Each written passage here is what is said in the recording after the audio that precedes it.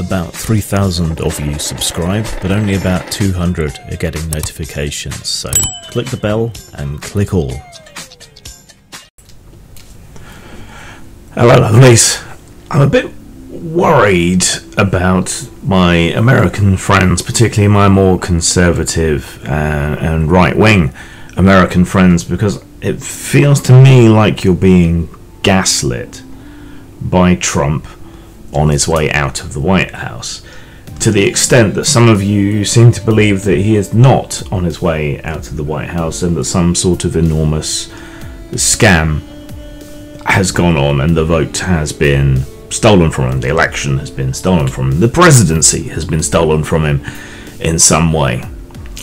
And you're reacting to my criticisms of Trump and of the kind of stuff that's going on around the elections in the mirror image of the same unhinged way in which many people on the American left, by which I mean centre right as opposed to far right, reacted to me saying, Yeah, Trump's terrible, but he's not Hitler. Which is a pretty reasonable statement, and as we're seeing unfold, you know, turned out he wasn't Hitler.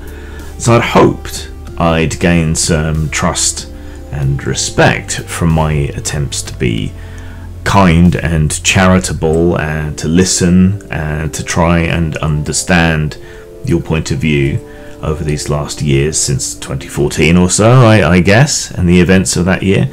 Uh, but that doesn't seem to be the case any more than it was the case that I'd earned any trust and respect from my peers on the on the left, or as has become increasingly apparent, the, the pseudo left here, uh, in regards to other things, including the events of 2014. Distance helps bring objectivity, and I think I'm distant enough from the US to be reasonably objective. Not as objective as I'd like, because a Biden presidency is better for the UK than a Trump presidency is, but still, yeah, I have distance, I have a certain amount of objectivity, and I hoped I demonstrated that over the last few years. Apparently not. I've not exactly made any secret of the fact that I consider Trump to be terrible, just not as terrible as many people on the pseudo left were inferring, and I think his clumsy attempts at populism, had he actually followed through on any of them, might have turned out being quite good for America. If he'd actually done his infrastructure plan, for example, then that could have been good for the American working classes and the American economy and the American infrastructure, oddly enough, as a whole, rather than this whole wall boondoggle and, and nonsense. If he'd lived up to his rhetoric, he could have been uh, yeah, not good, but there would be a, a, silver lining somewhere inside the, the suppurating turd that is Trump's presidency. But as it turned out, he was lying. But that was enough back then, back in 2016. You know, at least of the two candidates, he didn't have a track record of awfulness other than personal awfulness, and he at least made the effort to lie to working class and, and middle America in a way in which his opposition didn't. He just didn't follow through. And his presidency has been objectively terrible for the United States. You might laud whatever peace deals you think he gained. I think he'll come to regret that in the future. You may laud his tax cuts, but they blew a trillion dollar hole in the US economy even before we get to COVID.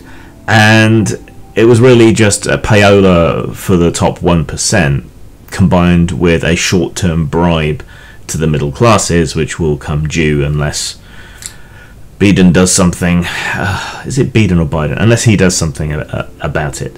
And then his mishandling of COVID 250,000 deaths, many of which, most of which, probably were avoidable if COVID had been taken seriously. So, after all of that, after your international humiliation for having Trump at the helm, and thanks for drawing attention away from our humiliation. Cheers. After ruining your economy, after killing a quarter of a million of you unnecessarily through negligence, if you're still supporting him, then I have to ask whether Trump derangement sy- syndrome is not a disease of the American pseudo left, but one of the right. The dear leader attitude, the, the thought that he can do no wrong, the willingness to die for this man's narcissistic ego. He would be a lot more dangerous if he actually believed in anything, but it seems like the only thing he believes in is Trump. And the, Biden is not a great candidate either. You know, he has done questionable, horrible things in the past. He has supported proposed, passed legislation that is objectively terrible and horrible.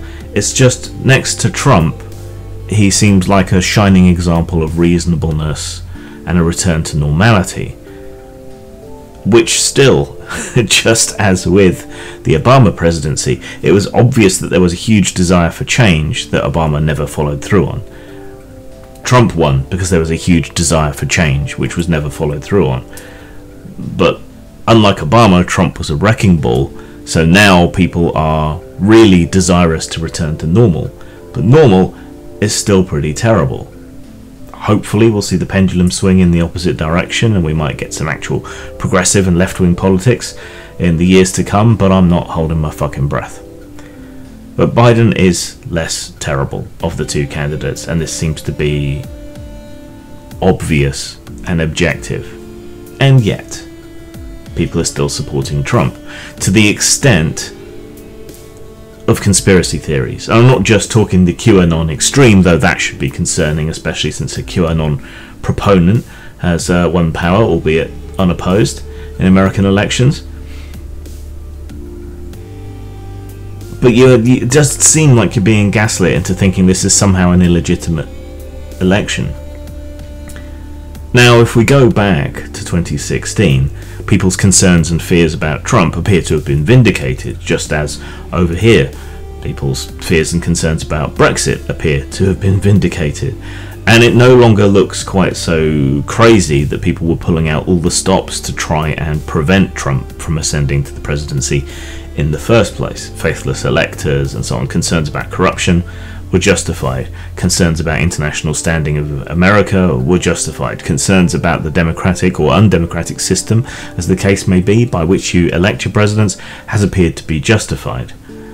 Is it likely to change anytime soon? Probably not, because just like our own corrupt voting system, first past the post, and how undemocratic it is, whoever's in power really has no impetus to change the system that allowed them to take power in the first place, especially when it comes to narrow votes or failing to get the popular vote, as has been the case this last two times.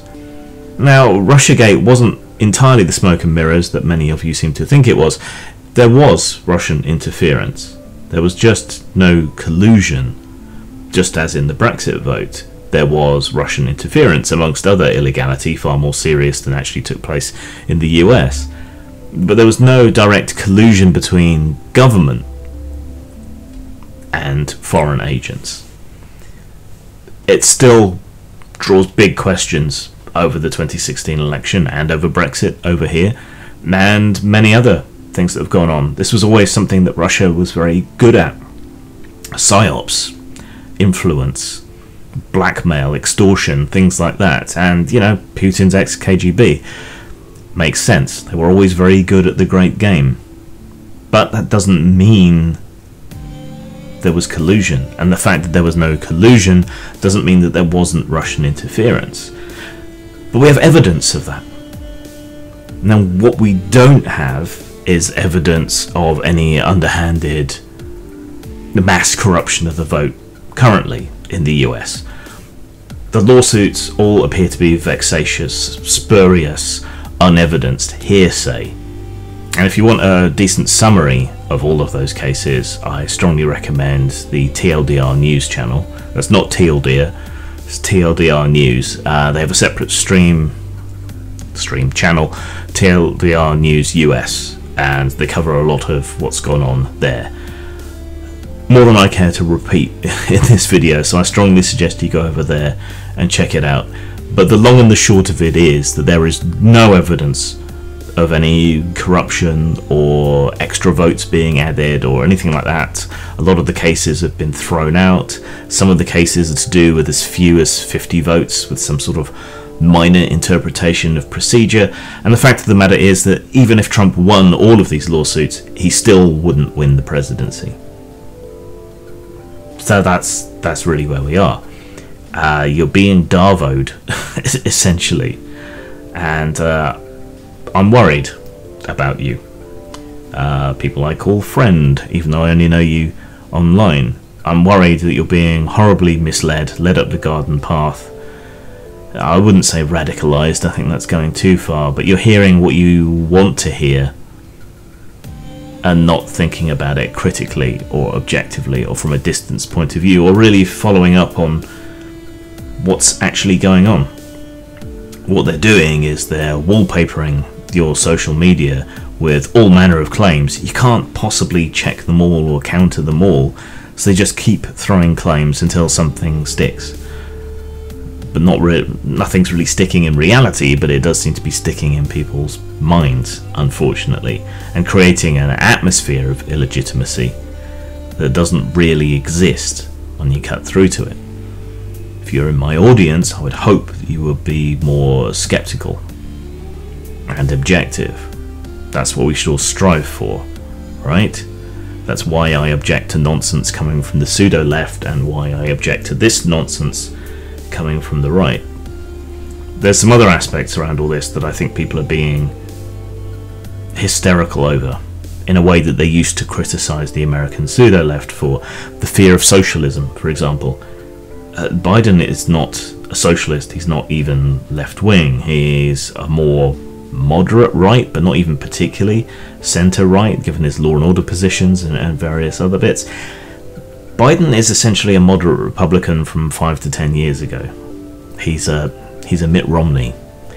He's not Karl Marx. Not that that's socialism anyway. There's nothing on his agenda that is socialist. And I know some of you are concerned that BLM, the official group, which does have some Marxists in it, seems to be demanding things of him, but they're not going to get them. He's already elected, and he's extremely unlikely to stand for a second term given his age. He has no reason to give anyone anything. And it's not in his political character or his ideological character to move to socialism, let alone Marxism, let alone communism he is a right wing politician in an international context. So you have nothing to worry about there. He's just back to the neoliberal consensus, really, and there's plenty to be afraid of there, but socialism is not one of those things to be afraid of. There's a fear of AOC's lists. From what I've seen, it's not actually her running any list group and the project to keep a list of people who were involved in supporting and enabling the whole Trump situation is not directed at ordinary people. You, you can't expect Robespierre to be coming around knocking on your door for having a Trump sign in your front yard. That's not going to happen. Rather, it seems to be about holding the administration to account, the people who aided and abetted Trump's criminal destruction and uh, ransacking of America to account and making sure that they're not forgotten for the role that they played in what's happened. That's far less sinister. If it does turn out that there has been any corruption around this election, I would think that you would want the people involved to be punished, right? And with this kleptocratic narcissist in chief having done a lot of questionable, almost certainly illegal things in his presidency, you, if that does turn out to be true, you would want him and anyone who enabled it or allowed it to happen to be held to account, right? Just as you would have done had anything like that happened under Obama, or should anything like that happen under Biden. And you have all these fears of a Biden conspiracy, of corruption, of dealings with Ukraine, and so on, which don't really seem to have much merit. It's his son, unfortunately, who seems to have fallen into a certain crowd and traded on his relationship with his father, hoping to get something out of that. But it doesn't really seem that there's any meat on those particular bones. unfortunately. It's um, smearing guilt by association. There doesn't seem to be anything to it. But it's weird to focus on that and to ignore Trump's blatant and open corruption, his use of his own private facilities, thereby channeling public money into places like Mar a Lago, the appointment of his family to various positions in an obvious case of nepotism. His, his wholesale corruption, his cozying up to dictators, God knows what back deals would have been done. His use of his position to campaign you know, using the White House as a backdrop, things like that that are illegal. Uh, his flag waving, foot stomping nationalism should have concerned you. His open corruption and nepotism should have concerned you. And instead, you're concerned about some possible influence peddling done by Biden's son with no evidence that anything has actually come of it. When you can't say the same about Trump's open and obvious dealings involving his family, involving his friends, involving his business partners, involving countries that he has big financial interests in and wants to build hotels in. It just seems weird to focus on the splinter in Biden's eye and to ignore the forest of giant sequoias in Trump's eye. So I'm just concerned and a little bit disappointed. Yeah, I've made no secret of how I feel politically, what my ideologies are.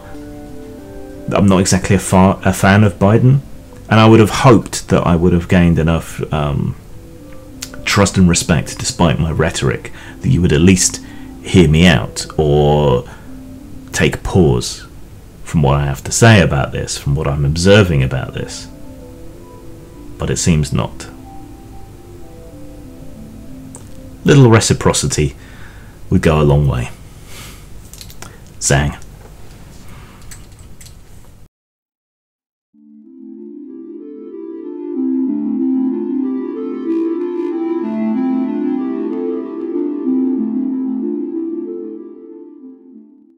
Aren't you a little tired of so called horror media about shiny, sparkly, angsty, whiny monsters?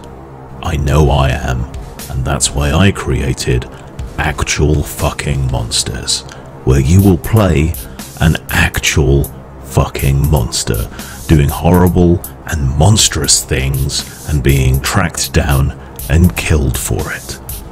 Buy now at DriveThruRPG, post-mort.com or lulu.com. Word to your mom.